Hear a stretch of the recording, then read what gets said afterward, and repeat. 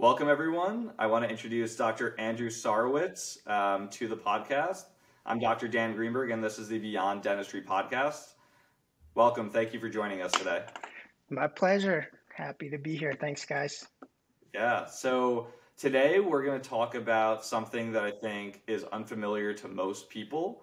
Um, so Dr. Sarowitz, um, he is a pretty interesting guy. He is a dentist by training but he finds himself doing a lot of different other a, lot of other different things has a lot of different ventures that he participates in. So i want to start off this podcast with you just explaining um, what you're involved in currently. Um, you can explain kind of your dental background um, and what you're doing now dental related but i also want you to talk about everything on the other end of that Sure. All right. Let me. Uh, I'll I'll blast through the dental stuff so we can do that quick. Um, I uh, I went to uh, you know George Washington for my undergrad, and I went to dental school at NYU. Um, I finished back in 09. Crazy, right? Single digits. It's uh, it's a scary thing to say, but been been doing this uh, I guess for a long time now. Um, but yeah, I uh, I started my um, you know my first dental practice back in 2012, and from that I kind of parlayed it into just this you know crazy expansion. When I think about it in hindsight now, you know you know 10 12 years removed um, but you know currently i have five locations on the dental side i have a few dental related startups that i've been working on in the last few years and i have a whole bunch of non-dental stuff too that I think is pretty cool and exciting. Um, but I'll kind of leave it to you, you know, where we want to take this. Um, yeah. You know, what, what you think people want to hear about the most. You know, we could we could talk about you know class twos all day or whatever, but we're not I, talking about class twos. Okay, cool. It's, it's been a minute since I've done one, so it's fine. It's good. all right, so tell me a little bit about um, one your involvement um, within. So you're on affiliated with uh, sports teams as a mm-hmm. dentist. I want you to just talk about your involvement in that, what you've kind of seen there, how you got into that space, and then so we'll keep the this with the dental side first. Um, sure. Okay. And then talk a little bit about your practice, um, how you started your first one, how you built it up to 5 mm-hmm. um, and where you see your ultimate goal with that. All right, cool. So um, yeah, the uh, the sports thing. I know it's kind of random. It's it's a little niche, I guess. Um, it was something I didn't really know existed until I found myself deep in it after a few years. Um, but apparently, there are like sports dentistry clubs and things, so it does in fact exist. Um, but yeah, I spent, um, you know, I, my my partners and I, we spent I want to say a little over seven years uh, directly on the medical staff with the Brooklyn Nets that included going to every home game, um, which sounds super awesome and exciting. Less so when you factor in that it, I think if my math is right, it ends up being about 300 hours a year. Um, so it, it, it, it, was a bit much, but we did it for a really long time. Um, you know, we, we've sort of slowly transitioned out of that kind of game coverage situation. But, um, you know, from that, we spent a little time with the New York Liberty. Um, and then um, now I'm, I'm probably doing the most work with the UFC and combat sports athletes in general and stuff like that.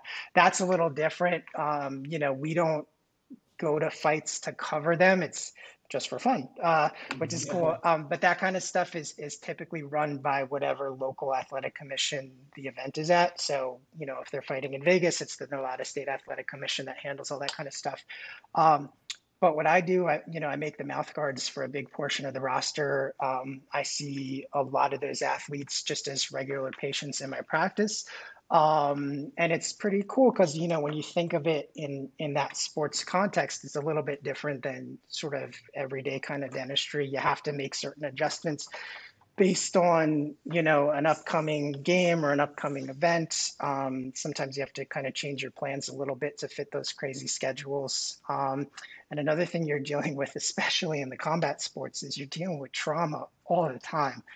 Um, even even with the nba believe it or not um, i would say nine times out of ten when someone was getting paged it was like a laceration case or you know a head and neck trauma kind of case um, so it, it, it, it was a weird sort of shift from just your regular kind of restorative dentistry. Mm-hmm. Um, you know, with the NBA, anytime there's an injury, the only concern, well, I'd say there's two concerns. One, obviously, is this person okay? But number two, they want to get him patched up and back in the game as soon as possible. So you got to be really quick. You got to kind of think on your feet sometimes.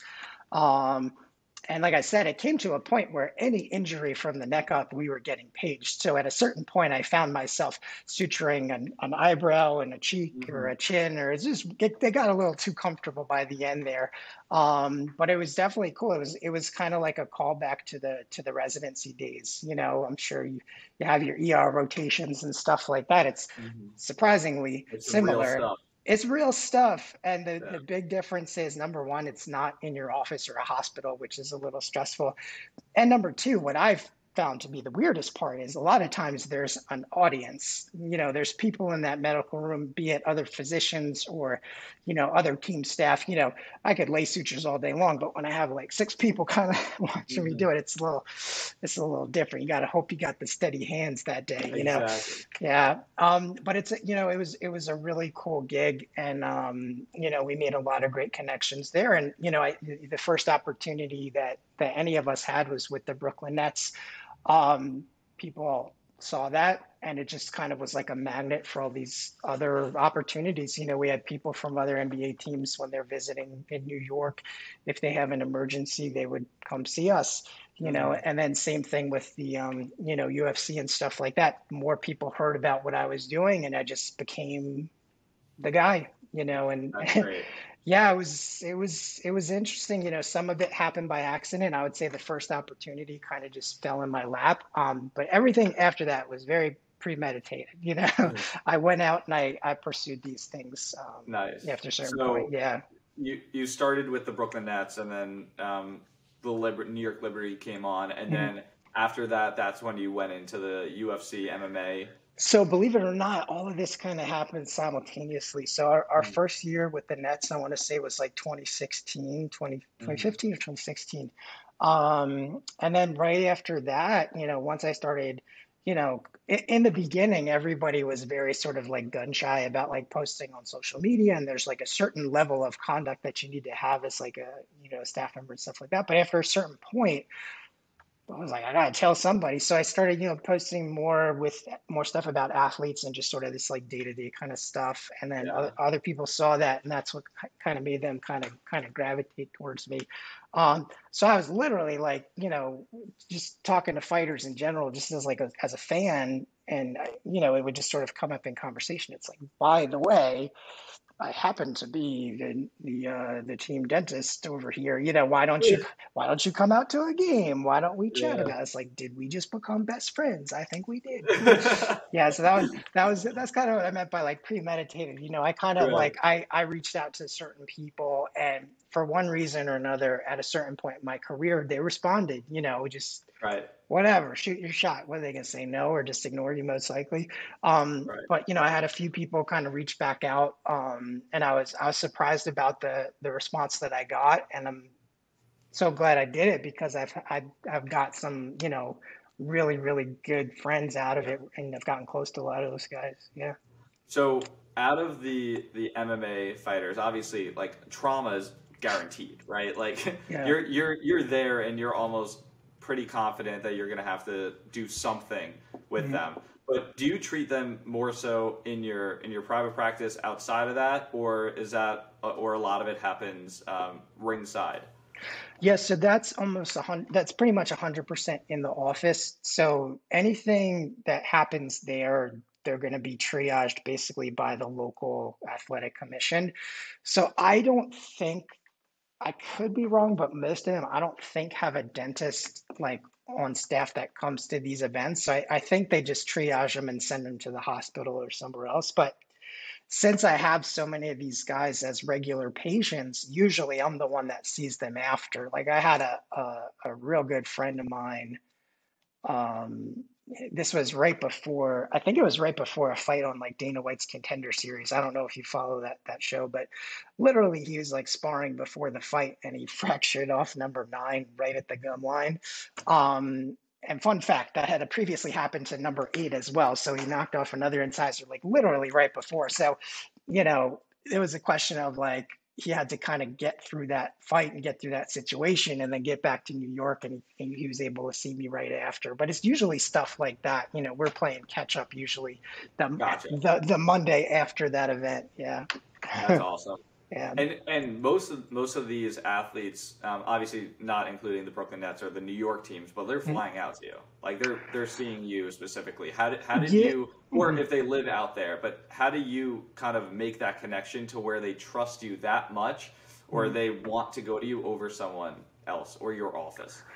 Like it's it's weird, and and you know I've I've I've kind of thought about this myself, and you know it's like it's like getting into that sort of like secret back room that no one else gets to see right? Like some people mm-hmm. get like a little glimpse of it and they kind of see what's going on. For one reason or another i was able to way like really push my way into these sort of like secret rooms. And i've had moments like that where i just have to kind of look around for a second and be like what am i doing here? Like it just seems really weird. Like backstage at an event or like you know like a super famous person sitting on a couch next to me or something, or like just weird sort of moments like that. So it's kind of funny. Like once you're in these kind of circles, I feel like other people see it and they're like, oh, that's the guy. There's nobody else in this room. I guess this is the guy. Um, but when I started out, like the, you know, I made some some connections with some people in the UFC early on, um, one of my good friends. Um, are we doing shout outs? Should I do a shout out? Should I shout at yeah, someone? I'll do my regular voice. I won't shout. But uh, uh, Michael Johnson, you know, one of my good friends in the UFC, and he was someone that I, you know, I watched on TV on The Ultimate Fighter years ago. Mm-hmm. Um, you know, I happened to meet him and we we became friendly. And he trains down in South Florida. Um, he's part of this team. It, it's gone through a lot of name changes. Currently, it's called Kill Cliff, but it was Sanford MMA. It was the Blacks, a bunch of names. But anyway, this team mm-hmm. down there, um, it's got a lot of you know UFC Hall of Famers, current champions, former champions. Like it's a, it's a big deal. Um, and he brought me down one time to start doing like mouthpieces for the guys and you know and then when he needs dental work he comes back to new york. So it's it's sort of become more of like an east coast kind of thing like the new york guys the florida guys stuff like that. Um, and the cool thing too with the mouth guards you know when i started that company i had to I I had to figure out how to do it, you know, globally. Obviously, people, not everybody yeah. can come in and get them. So, you know, I'm able to do it mail order, which is cool. You know, I'm sending out molding kits. I'm doing pretty much everything on Zoom. Um, so I'm able to work with people literally all over. Um, and it's kind of crazy. Like I've I've I don't know if this is a good thing or a bad thing, but for some some reason, I've developed this reputation as someone who can get you know these mouth guards and things done very quickly. There so yeah, but it's terrible. It's the worst because it's always an emergency and it leaves like zero time, and you're relying on like UPS to like save you the other. Right. It's just the most stressful. You're like, experience. pay whatever money to get it to you that's kind of where we're at right now. So I've had yeah. some like big fights over, you know, the last couple years. Like, um, are are you into you know combat sports, boxing, MMA, that kind I, of stuff? I, I honestly I watch all of like the main events. Yeah. That you know the ones that you have to pay on pay per view. That's yeah. what I want. Yeah, that's enough. But like, yeah. I'm, I'm trying to think of some of the big ones. Like one of the big like emergency ones I had was when uh, Jake Paul fought Tyron Woodley. Like yep, randomly, I you saw that one. Okay. So randomly, I get a message, I want to say four days before the fight from first round management who represents Tyron Woodley. And they're like, we are in a jam. Like, we need this for the fight, like on Saturday night. Can it be done? And oh I'm like, I'm like, it's not impo- it's almost impossible. It's not quite impossible. I'm like, if you overnight the kit there, we get on the phone immediately. You overnight it back the same day. It'll leave me about half a day to make it and then overnight it directly to the hotel. So they're like, let's do it. I'm like, get the fuck out of here. um, but you know, that was, that, you know, that was one of those moments where like I had to kind of look around and like, it was so funny. Like I was talking to friends of mine about this fight the day before, and I was on this like text thread, just like talking about predictions and like, oh, you're going to watch whatever. And then I, out of nowhere, literally the management reaches out and I felt like I was like, I had skin in in the game. Yeah, you know, I was like point point two percent involved in this, but Yeah. like I, I I was like I put it on the texter and I was like, you guys are never gonna believe the phone call I just got. So, but sure enough, I was able to do it. I got him the kit. I got. I literally got on a FaceTime with Tyron Woodley. Like it was it would it would Oh have my been two God. days before the time, and I'm like showing him how to take a like a putty impression of his teeth on Zoom.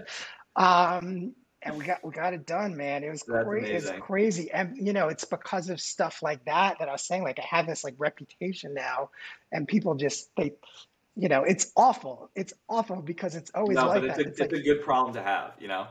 it's very exciting, you know, it, and and and you know, I, I geek out more than anything else for for like UFC and combat sports stuff like that. Like when I was doing like the NBA stuff, like uh, you know, I'm not, I I didn't grow up as like an NBA fan. Like I kind of got more into it, obviously, like working there and stuff. Um, but like UFC, I've been into like since day one, you know. So when I see some of those guys, it's it's a trip. Yeah, Totally, very cool. yeah. Um, so I want to get into a little bit, and I'm, we're going to come back. I want to talk more about your practices, and I know it's a little dental related, but I, I do want to get into like one the the mouth guard company, which we were Mhm. just talking about, and how you managed to get into the apparel space, Yeah. and then um, yeah, which is funny. Yeah. So um, and then anything else in between that I don't know about you, I want you to just explain because Just throw it out I there. think to me, like I, I remember the first time that we spoke on Instagram.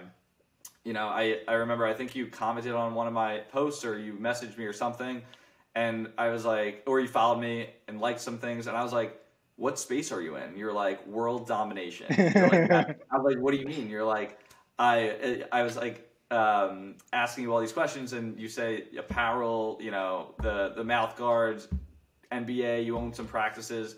And to me, I thought that was the coolest thing in the world because you see all these things that are are happening where you know you were trained to be a dentist, and there are all these opportunities, whether it's within dentistry or outside of it. If you're an entrepreneur, you're an entrepreneur, and you kind of use that, you know, use your network to build um, an entire, you know, empire Mhm. uh, for lack of better term uh, words. But um, Yeah. yeah, so explain where where you're at on the other side between the mouth guards, apparel, and everything in between.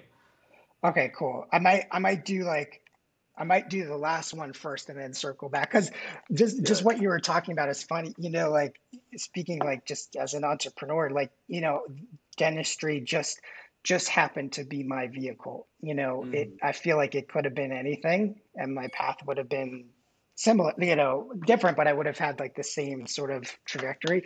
Um, and I just know like I I never wanted to be defined as any one thing. I didn't want to be known as a dentist. I think that would have been a real disappointment to like the 10 year old me. Like if he Mm. found out that that's what I was doing when I when I got old, you know what I mean? Like it's just Yes, I get it. I get it. it's like I get it. Like I'm not I'm not playing professional baseball or something like Right. whatever. But but you know, it's just it it was it was it just wasn't exciting enough. And that that being said, like, you know, as the years progressed, it got more exciting. You know, I wasn't I wasn't particularly psyched about it in dental school. Um, it wasn't until residency that I really kind of um, had a newfound appreciation for it, you know, and I think I think that's part of the reason I I, I do the the uh, the sports trauma stuff because it was the it was the ER, it was the surgery, it was being on call, you know, that was that was kind of the only thing that gave me any sort of passion about it. Mhm. Um, and I, you know, ironically, it didn't come until after after I had finished dental school. Um, but that's that's kind of like the the main reason I kind of have all this other stuff. It's just like, you know, I want to do the things I want to do. And I think, you know, just to get get personal for like two seconds, then I'll bring it back to reality. Like Mm. just get a little personal. I think I spent so much of my life just, you know, trying to be cool, trying to be liked by people. And I'm I'm just going way, way back to like the high school and the college days and just being in Mhm. school in general. You know, so a lot of times we keep we keep a lot of our personality like close to the vest. You know, we don't want to let everybody know the things that we're into for a fear that they might think it's weird or might not be into it too, you know. So it's it's only recently, I should say, like, you know, as an adult and now that I've found some success that I find more of my personality coming out. You know, the things that I'm really into and really excited about and really Yeah. passionate about, I kind of just yell to the world. You know, when in the past, you know, you know, I'll get get random one, you know, like I'm I'm I'm just like so insanely into like comic books my whole life. Like I got a crazy collection. I'm reading comics every day. Um and, and for a long time that was a very personal thing. You know, I didn't I didn't post about it and tell people I just did my own Mhm. thing. Um, sure enough, fast forward a few years, I you know I tell some people I start talking about it, and I get a get a gig with Image Comics, and this was like just in the last year. Um, so I got like a, it's not really a job; it's more like an influencer thing. But they send me like boxes of comics for me to review before they come out. Like, awesome. what are the odds of something like that? And I think it only happens because people can tell that it's real and it's authentic and it's the real me and it's something that's just you know like I'm no longer shy about telling people Right. that. Um, and I think that's maybe part of the secret too. It's like I'm I'm I'm pouring energy into things that I really care about, things I know a lot about too. You know, I'm not I'm not it seems like I'm stepping out of my lane, but I very much am in my lane in terms of these. you're stepping into your lane, yeah, yeah, exactly, right? Like, so I, I think that's why it kind of seems like I'm all over the place. And now, you know, I, I, said I didn't want to be defined as a dentist. Now I, I'm very comfortable telling people that I started as a dentist. You know, Yeah. that's totally acceptable. Um, you, you know, and some of these things are dental related, which is cool too. But, you know, I, I just, I don't want to be defined by anything. I want to do what I want to do. I've gone way out in left field in the tech space too. I'm involved in a lot of startups that just have nothing to do with dentistry. Um, you know, you mentioned the apparel stuff too, and that's another one we can we can circle back to if there's time. Um, nothing to do with dentistry, just stuff I really like. You know, just stuff I want to pour my energy into. Yeah. And we're back. So back to the Yeah. dentistry part of things. Uh, okay, remind me, what was the question? You wanted to know about the uh, the practice setup and, and things like that? Yeah, so that that was a couple questions ago. But uh, yeah, we can go back ago. to Yeah. that. Okay. So so Yeah. let's yeah. So I, I guess one of the biggest things to me because um, I I think I, we spoke about this. So I started the pre-dental consultants. Um, Mhm. That's just one business that I started or that I'm involved in um, Mhm. outside of of my everyday life, which is going to residency and working my eight to 5 Mhm. So I find that to be challenging because I get home and I'm like, all right, I got there are three things we need to do. We're building a DAT textbook, we're building an entire DAT course, we're doing a bunch of things, um, and I find that my I'm spreading myself pretty thin. So I guess my question to you is one, and we're gonna get into like how you started those five practices and like the the because that's one of my goals is to Mm. open up multiple practices. Mhm. Um, that's been my goal for a long time. I think that's one of the first steps I need to do is to get one. But how you um, transition from one to two to five, Mhm. um, and then the second question, and I know I throw a bunch of questions at you, but the second question is, um, where do you find the time to be like involved in in all of these aspects? Because everyone, there, you're not some superhero that has you know 48 hours in one day. Everyone Mhm. has 24 hours. Everyone needs sleep. You know, people drink more coffee than others, but Mhm. everyone ultimately has like the same time of the day. So that's those are my questions. Mhm. Sure. Um, I might do this in the reverse order too. Well, I guess it's kind of related too, um, only because the second one's fresher in my mind. Um, yeah, like I'll, I'll, I guess I'll say a couple of things um, to sort of answer both questions. You know, the limiting factor, at least for me, um, it, it, it's always the the team around me. You know, especially as a dentist, it's it's one of those things that's im- impossible to scale because you only have two hands, right? Like so how do you how do you replicate this? Um, you know, let alone multiple times, you know. So for me, it's just it's just, you know, surrounding myself with really smart people, um, people I can trust, uh, people that are way better at their job than I am. Um, and, and that's kind of what's done it for me. So at each one of my places, you know, I typically have like an operating partner. So there's a, you know, there's a dentist there who has equity, who's invested, who, you know, for all intents and purposes, that's their practice. That, that that's more their practice than my practice, the way that I look at it. Um, and I'm lucky that I've, you know, I've encountered people that kind of share the same vision and wanted to kind of join this team and and, and kind of do this with me. And you know, just to just to comment on the kind of people they are, like you know, you know, my partner, Dr. Steinbach in Brooklyn, was a classmate of mine at NYU. He was a co-resident of mine at Long Island College. Um, you know, we started building out practices in Brooklyn in like 2013. Um, we have t- you know two practices there now that he basically manages essentially full time. Um, my spouse, also a dentist, also went to NYU. She manages everything in Manhattan for me. Um, I kind of bounce around like as far as my schedule goes, like, and, and I guess I'll touch on the time factor too. Um, you know, I'm usually doing patient care normally about a day and a half a week.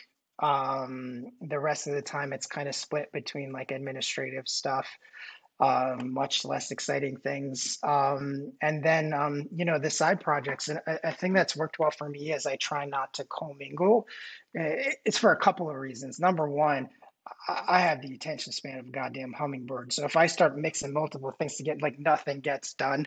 So I got to have like, you know, set times to do certain things without mixing in other things. That's number one. The other thing too is like it's not it's not fair to my partners either, you know, like if I'm if if you know, if we're partnered somewhere in a particular project, you got to know that when I'm there, you're getting 100% of my time and my focus. You know, I'm not I'm not taking calls. I'm not doing other things that aren't related to this. So that really helps me too. Um, but yeah, just just creating boundaries is super important, and I, I think it's the same thing for personal time too. You know, I'm I'm notoriously difficult to get on the phone. Um, there's a reason for it. Usually, I will turn it off and put it somewhere. You know, I put it somewhere, or you know.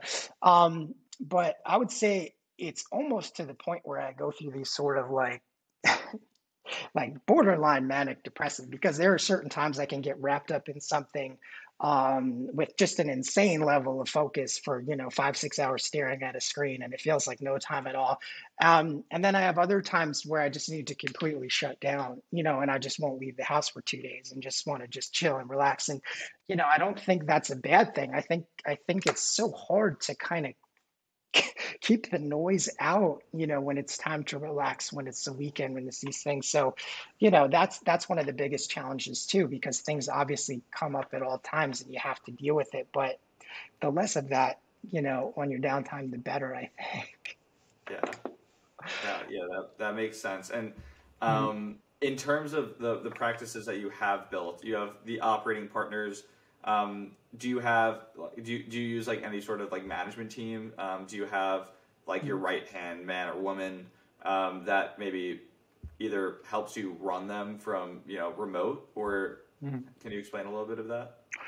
Yeah, um, it, it's kind of different for every setup, um, and I have a few different types of practices too. Like I have a I have a really big spot by Yankee Stadium, which is more like a big clinic, you know, bunch of ops, bunch of people. We're seeing, you know, 40, 50 patients a day, and it's it's uh, it's, it's a little different. Um, but you know, I, I do have a sort of right hand man. I have an office manager that's there full time. He's not a he's not a dentist, but he does kind of help me manage that one. So, yeah.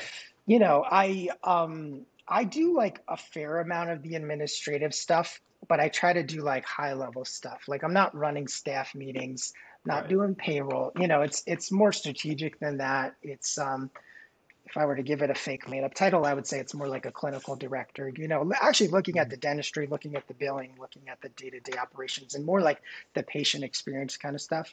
Um, but that's up there. Um, in Brooklyn, I have another team that helps me manage the. Uh, they do the billing for me. They help me with the mm-hmm. administrative stuff. This is not a company. These are just friends of mine that kind of came up with me at the same time and just to get really weird and um, one of these guys worked for me like it was must have been one of his first jobs when he was 18 years old. He worked doing collections for my office um, fast forward you know 10 12 years and he's like a full-on adult with four kids. But he started doing dental billing and management and sure enough, we synced up 10 years later and now he's he's helped me expand. He does all my billing everywhere. He does my management in Brooklyn, helps take care of a lot of this stuff. Um, handles the bulk of like the HR kind of things, which is kind of cool. Um, Yeah, but that, that's what I was saying. Like you, you need people like that. Like that's that's the limiting factor. There's always going to be opportunity. There's always going to be spaces. There's always going to be money. Believe it or not, Yeah. um, you know, it's it's it's those people that you need. You know, so as soon as I find somebody like that that has the same vision, it's like okay, now we're going to find a new project, and now we're going to get started on this. Yeah. Um, how, I guess, why, why don't, I, so I looked at the names of the practices. They don't appear to be like a part of the same group. Um, was there a reason why you didn't either name it the same practice or come up with a different name for it? Mhm. Yeah, I'll say uh, two things. So in Brooklyn, it's a little different. In Brooklyn, we have um, we, we kind of have like a the same branding there. We have two locations on the same name, but the other ones, you're right, it's totally separate. Uh, I'll say I think it's a New York thing.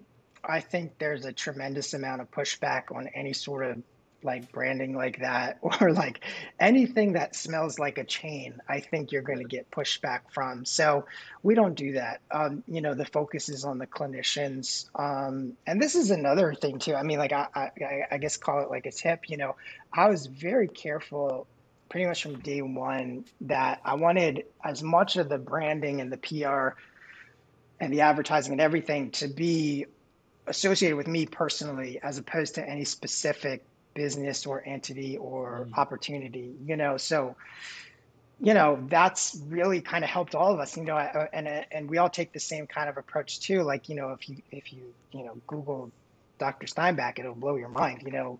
Just so happens behind the scenes that's my partner that's my operating Yeah. partner who runs this practice. He was on the cover of Dentaltown two months ago. Like what are you kidding me? Yeah get out of here. Um, also that was a good issue. You can see that was the newest um, facility that we made um, in uh, in park slope yeah but but that those are the caliber of people I try to surround myself with, um, and and we've all sort of elevated together. You know, it's it's it's been some years, but you know what what better what better indicator that you're on the right path than stuff like that. You know, be, being on the cover of magazines and, and this kind of stuff. So it's pretty cool. Yeah, that's very cool. And then um, last question until we'll, we'll wrap all of this up because I know, I know you got to go. Mhm. Um, so the the I want to bring it back to the UFC fighters and the and Mhm. the NBA and all of them because obviously they do come to your office. Mhm. Um, can you explain kind of your interactions with them within the office, and then I guess based on HIPAA and things like that, like what you can and can't do, what you can and can't post, Mhm. uh, because obviously I think that's like a space that's really difficult to navigate. Mhm. Yeah, so the easiest thing for me is I like I'm almost never posting anything like super dental related. Like I think my audience is it, it's not it's not 100% into the dental work, so I'm typically not posting cases. Like I, there was a point where I started to, and just people were like grossed out or not into. You know, this is it's not And like my the unfollow button. yeah, it's not my. I don't think that's my audience.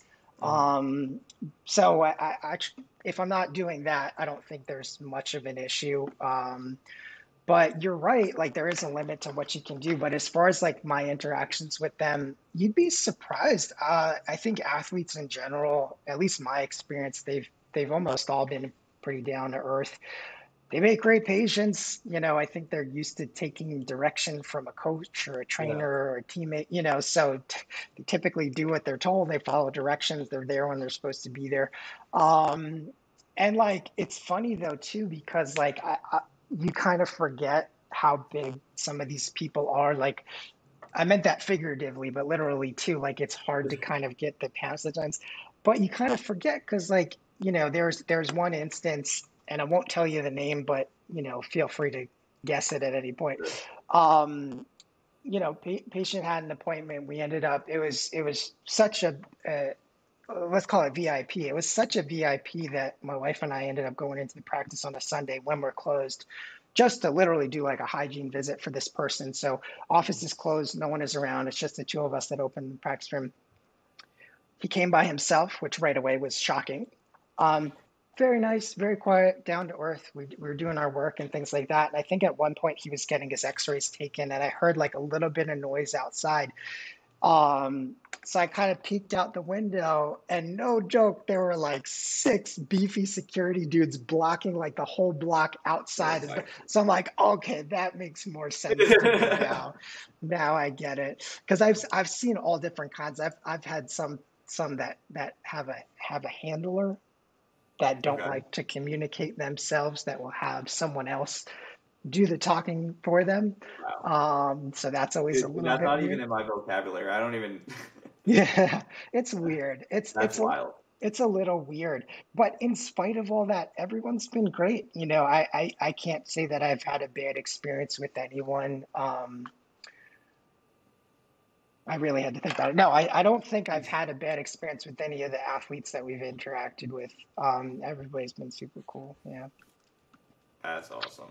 Um, all right. So, anything that we didn't cover that you think everyone would want to hear just about your experiences Oh, I think I lost you first. world I lost you just for I lost you just for a Yeah. second in the middle there. Sorry. Um, so, any anything that um, we didn't talk about today that you think the listeners would want to know, maybe about your experiences within the dental world, outside of it?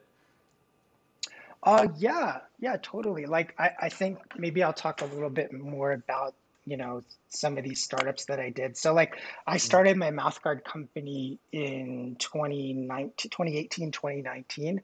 Um, and at that point, I'd become friendly with a couple UFC fighters, and I kind of like pitched a couple of guys on it, like, "Hey, what do you think if I started doing this?"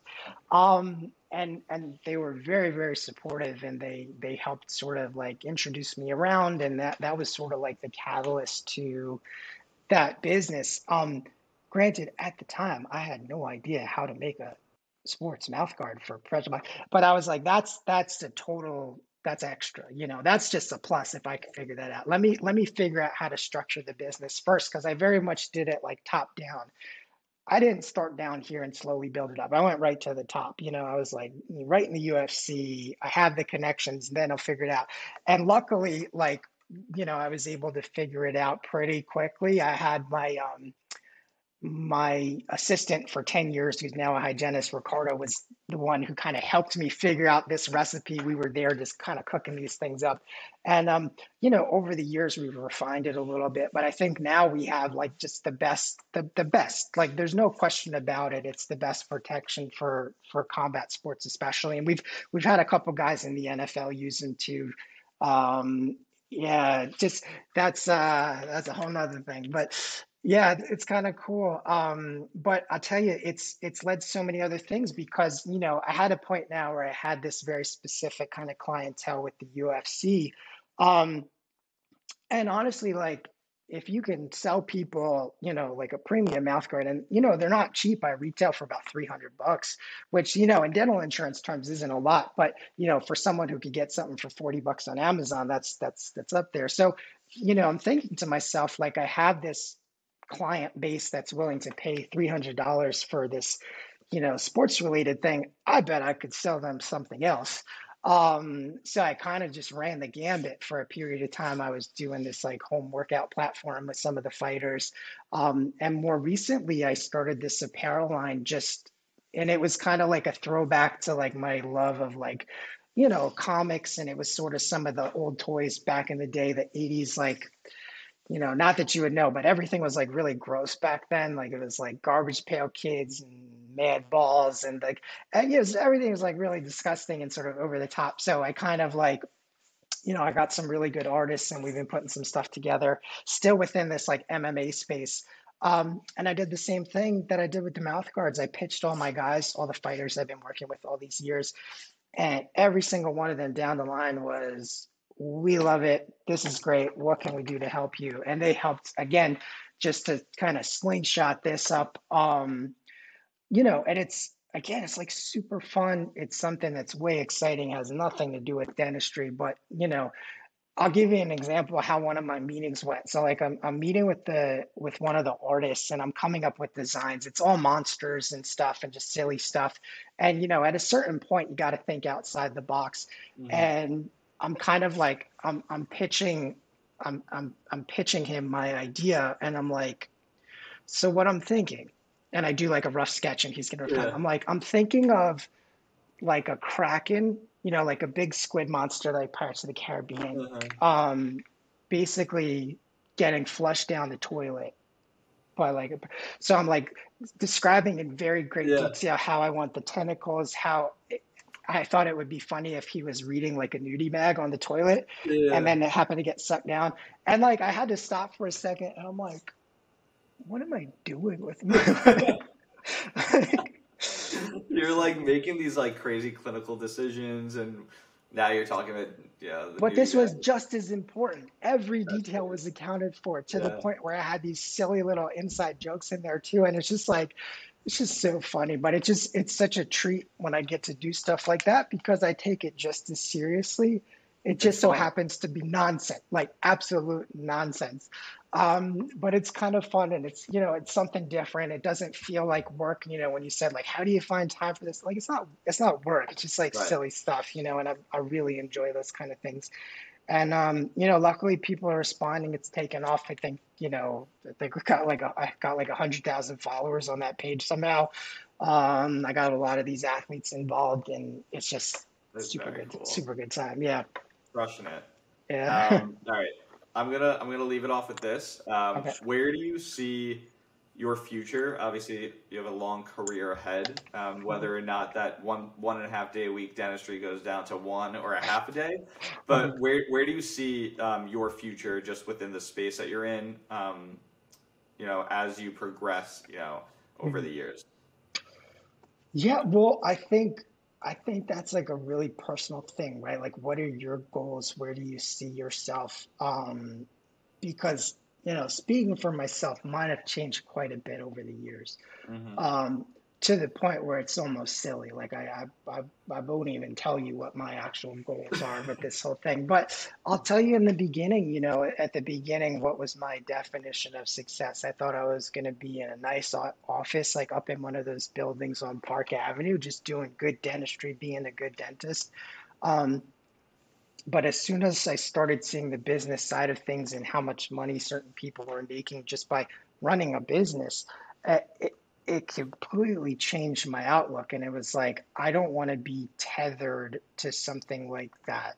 You know, I just want this to be my vehicle so that I can continue to grow and expand and scale and then, you know, parlay that into the into the next thing, you know.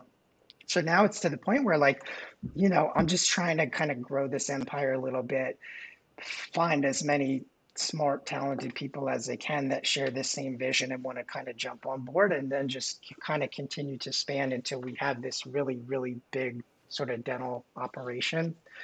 Um, and then, you know, on the other side of things, all these side projects and things, I'm always looking for opportunities outside of dentistry, be it my own startups or other people's startups. You know, I'm invested in a lot of companies, like I said.